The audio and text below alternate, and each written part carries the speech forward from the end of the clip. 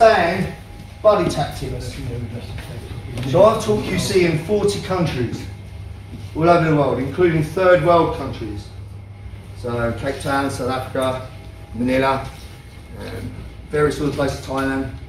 Places where things could go fucking chilly if you know if it went tits up. And I've been alone and I've been with other people. The other people that I've been with, we always had a plan, pre-plan.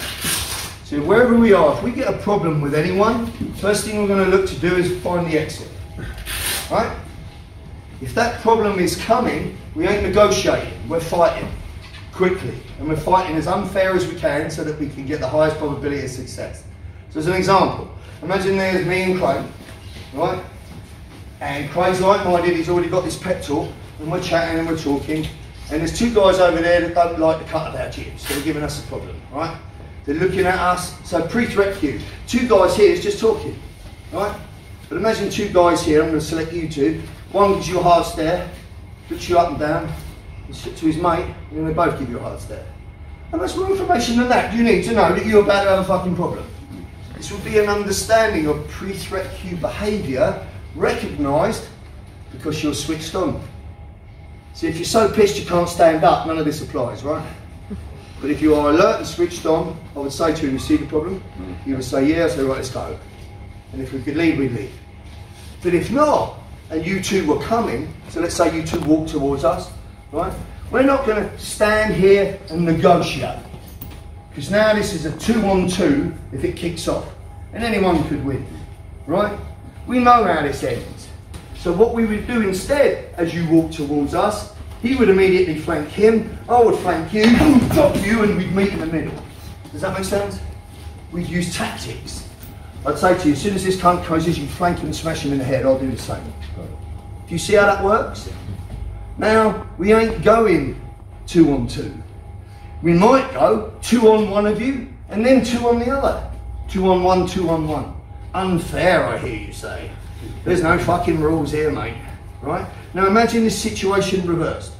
Instead of Craig, who can handle himself and who'll be on the same page as me, it's my wife's bird watching cousin from Australia who I'm fucking escorting out as a babysitter for the night. And this cunt couldn't fight the tide in the bath. Right? now when these two come, I've got to protect him and fight two on one. Do you think they're going to be fair with me? Absolutely not. So lose the idea of fair mindset and start to become tactical, right? So in this particular situation, Katrina's switched on like that and Craig is switched on like that, right? They come across a situation, I'll take you back, your attention back to Dublin, where there was a maniac with a knife stabbing children in the prams and women that were trying to stop them. So as the mums were coming up, he was just fucking wailing at them. That's what this is, let's say, yes? Yeah. And these are two people walking through the park that could possibly do something about it. One, because they're switched on and recognise it. Two, because they've got some skills. Three, because they've got the mindset. And four, because they've got the general physical preparedness and love for, to preserve life. They still care. Do you understand? Because you're all going to do this drill, so watch what they do. The one's going to be back, the other's going to maintain the threat. Stay on the threat till he's unconscious. Make out you're pulling out phones and calling authorities. That's what you do. Go!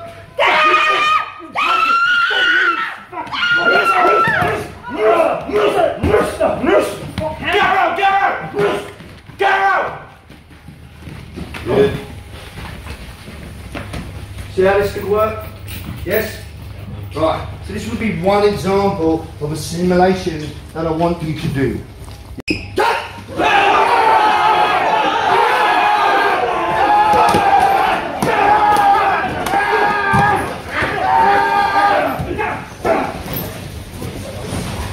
Simple enough. You'll need to call for help. Right, you need to call for, for to the authorities, yes? Whilst everyone's clear, once he's secured. One of the things that you might seek to do is bind him if he's unconscious. There's various ways in which you can bind him and secure him that's within this curriculum, which I don't have time to tell you now. But you are either going to detain or destroy. Do you understand? In the context of the situation in Dublin, it's destroy.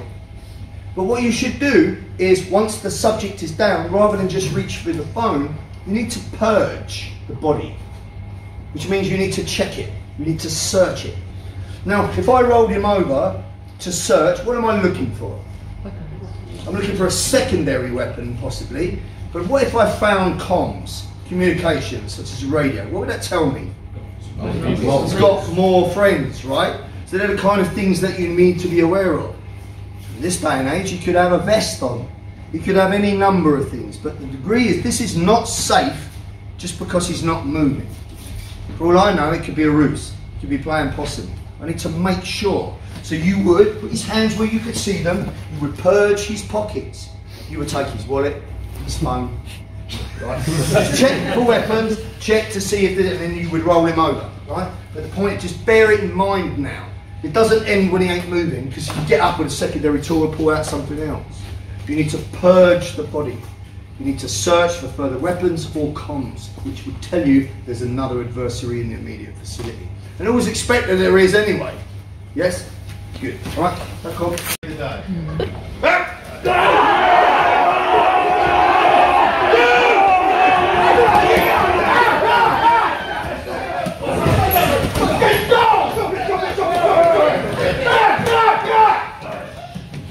Good, check, good. Cool. Right.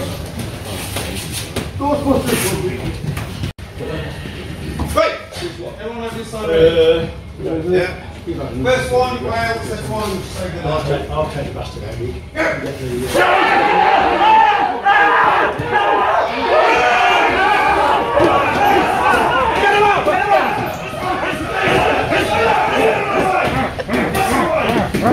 Good,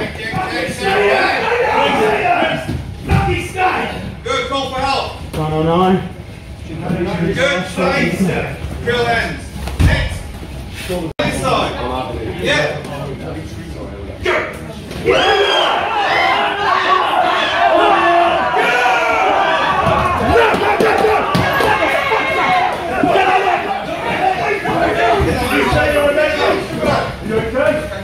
Strip that Check. First body.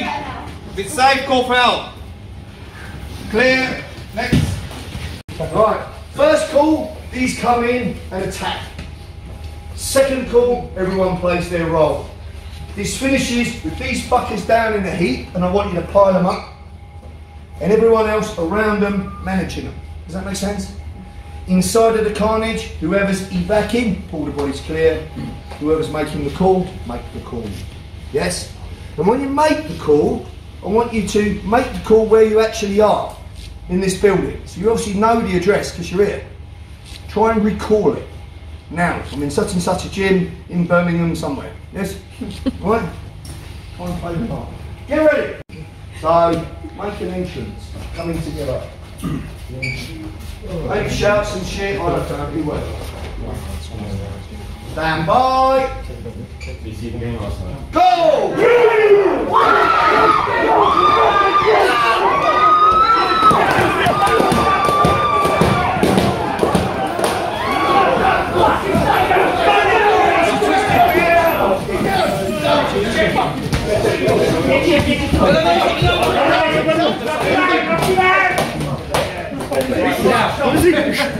Who's the other?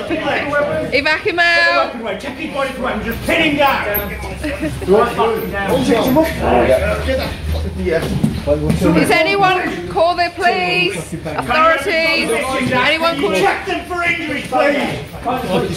Can you check the victims for injuries? Has everyone got them? Is there a doctor? Is there a doctor in the house? Are they breathing? This man's bleeding. He's Can you breathing? Yeah, they're conscious. Conscious. Check one more. Go on, she's gone. Okay, check, check, check. What, imagine what that felt like. Inside of this, if you immerse yourself, you will be mid-brain, which means your subconscious brain is taking in what you're doing and can't decipher between a real experience, a visualized experience, or a simulated experience. If you feel adrenaline and caught up in this in the moment, then you were immersed. That's really useful because now you are putting information on the disk, i.e., your subconscious brain, that's giving you an idea of what you could possibly do to mitigate damage in a dangerous situation if you were ever here. So before you just simulated such an event, how many of you has it had experienced for real that event? Put your hand up. I wasn't involved, I just saw it. Huh? I wasn't involved, I just saw it. You were there, you saw it visually. Yeah. Put your hand up. Right? Couple of people, more than I thought. Right? But nonetheless, when that happened, did you have a fucking clue what to do? Absolutely not. And right now, before what we just did, none of you have got a clue of what to do. Same as me, before I knew this, not a clue until I realised hmm, what could help. Does that make sense? But now you have simulated this knowledge and not in a sterile setting where I'm just sat there in a classroom telling you, you have actively got involved in it. Your subconscious brain has now taken that data and placed it on an upload. So your subconscious brain now has the information that should you ever find yourself in a situation like that, it has an option of what to do. That might be pull out your phone and film it. That might be phone the authorities quickly. That might be get that poor person to safety. Or that might be arm yourself and fight. But nonetheless, that information was not on your subconscious disc before I brought it to your attention. So know this your subconscious brain will always do what's best for you if it has the choice, if it has the option. So if I've never explained that to you and you suddenly found yourself in that situation tomorrow, you'd probably just get fight or flight response, try to run, freeze, and you'd be in a state of hypervigilance. Because the subconscious brain only knows that as an option at that point. Does that make sense? But when you simulate a possible response to it, now you've got two options. You've got the previous option of freeze up and do nothing, or act. Does that make sense? Your subconscious brain cannot decipher the difference between a real event, a simulated event, or an intently visualized event imagined in your head, as long as it elicits an emotional response. And by emotional response, I mean an increase in your heart rate and a tad of adrenaline. Does that make sense? Now you are fusing the physical conditioning to such an event to the emotional conditioning. You are working your physical hardware and your emotional software in the same class. Does that make sense? Good. Right, we're going to do it again, one more time. So now, whoever was on the phone takes an active calling, somebody evacuating the bodies, so- and the rest of you fighting back. Two chair legs, yeah? The two black rubber cops, what is it? right. Yeah, big boy. Stand by. Anyway, as I was saying, yeah, we was watching the down the match of the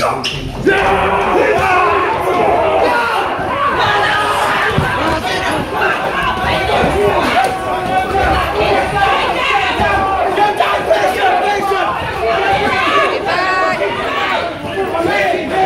Hold on.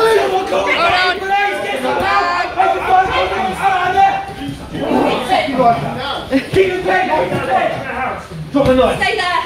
Don't fucking move or I'll cut you. Has anybody called the police? Yes, Yeah, we've got it.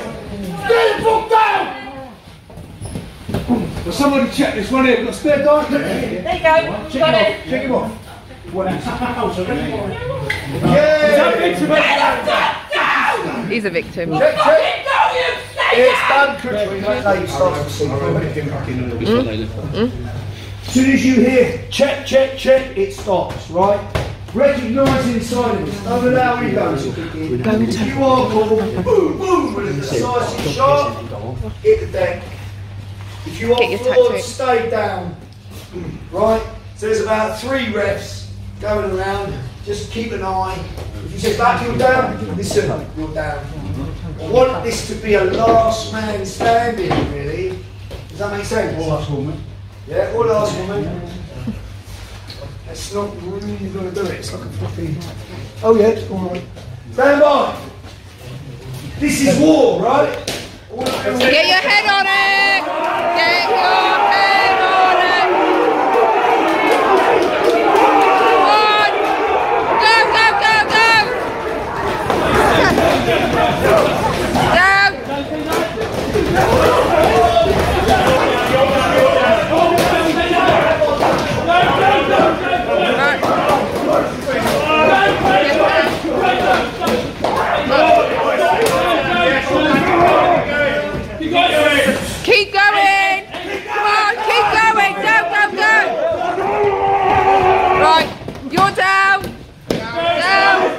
son. Quick two. Oh, keep going. Get in there, Will. Watch him Fuck him in. Watch him. Watch him. Watch him.